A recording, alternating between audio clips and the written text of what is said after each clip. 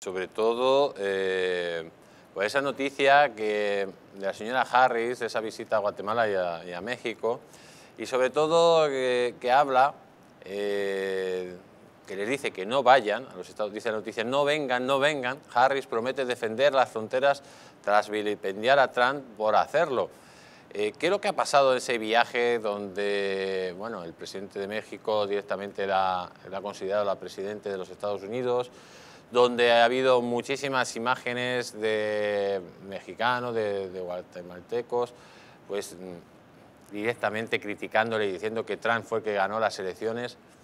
Todo esto ha sido ocultado por la prensa, pero ese viaje ha sido bastante comprometido para ella, ¿no?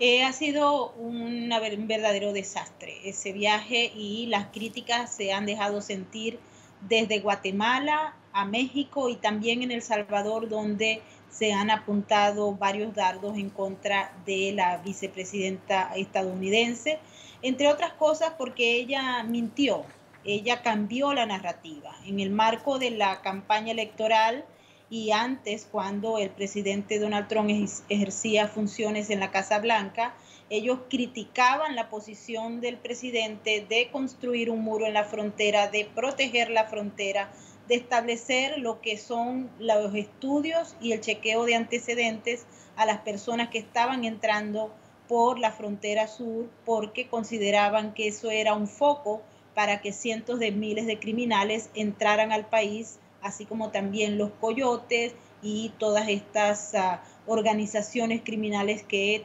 mm, transportan droga, cocaína, etcétera, a los Estados Unidos. Y ellos lo criticaban. Ahora, frente al desastre que hay en la frontera, Kamala Harris va a Guatemala y le explica que ellos ahora sí van a aplicar la ley, que prácticamente era mentira lo que habían dicho de darle la bienvenida a todo aquel que deseara eh, inmigrar a los Estados Unidos. Eh, fue muy clara y concisa al momento de señalar que no quieren que vengan los uh, inmigrantes que ellos habían invitado durante el marco de la campaña electoral. Fue muy criticada tanto como por agentes de gobierno como por la población que consideró que la narrativa de la vicepresidenta es una burla contra los inmigrantes porque los invitan y luego los echan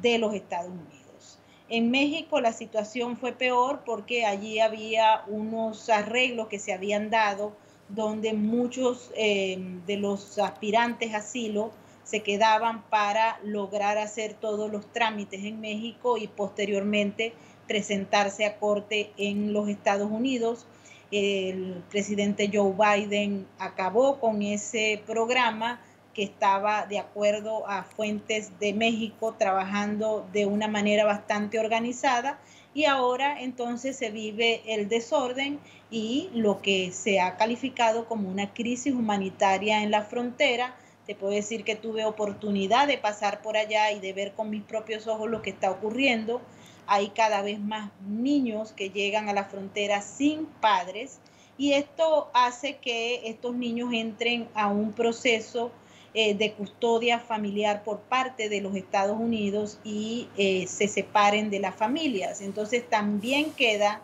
eh, como falsa narrativa las acusaciones que ellos le hacían a la antigua administración de que estaba separando a los niños y a las familias es totalmente una falacia, pero adicionalmente a ello se reanudaron las deportaciones y particularmente la de los venezolanos que huyen del país producto de una desgarradora dictadura criminal.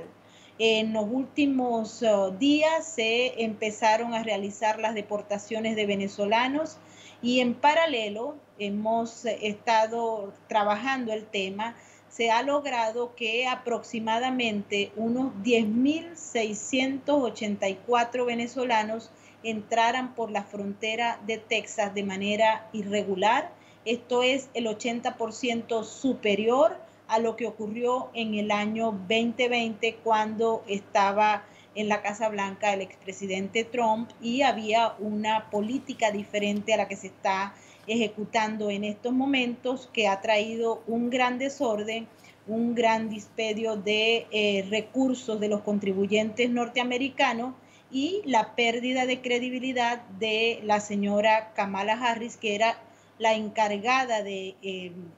enfrentar toda la crisis de la frontera y ni siquiera se ha molestado en pasar por allá para verificar con sus propios ojos lo que los medios están ocultando y lo que muchos miembros del gobierno federal tratan de silenciar a toda costa. Maybor, muchísimas gracias por haber estado aquí en el Mundo al Rojo. Un fuerte abrazo. Un fuerte abrazo para ti y para toda la audiencia. Feliz noche.